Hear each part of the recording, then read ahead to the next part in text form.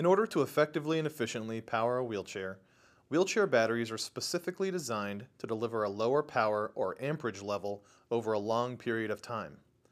Conversely, an automotive battery is designed to deliver a high power level over a short period of time. This is the primary and fundamental difference that makes automotive batteries unsuitable for use in a wheelchair. So let's investigate some wheelchair battery basics.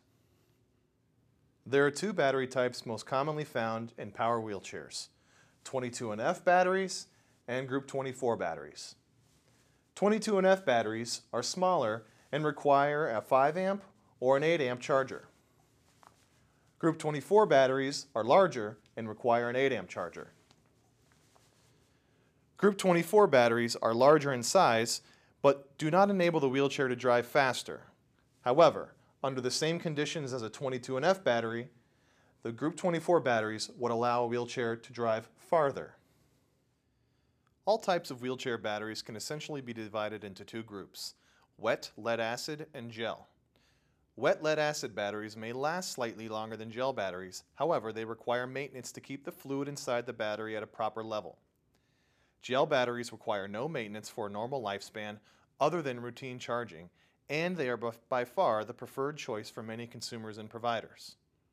Both battery types have their respective advantages and disadvantages. For example, wet lead acid batteries have a lower cost and approximately 10% more running time between charges.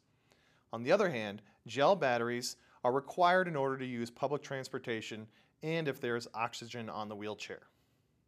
Furthermore, gel batteries have a longer lifespan when following manufacturer's guidelines and recommendations. Invacare only uses gel batteries in our power wheelchairs. Poorly charged batteries are the most common issue with power wheelchair electronics. Routinely charging our batteries can help maintain their function and extend their lifespan. It's important to note, batteries that do not hold a charge throughout the course of a day may need to be replaced and should be checked via a load test using a voltmeter.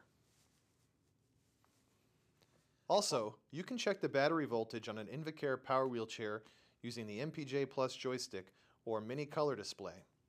To learn how to do so, check out the video User Access Settings in the Invacare Mark 6 Virtual Tutor Library. Thank you for watching this Invacare Mark 6 Virtual Tutor.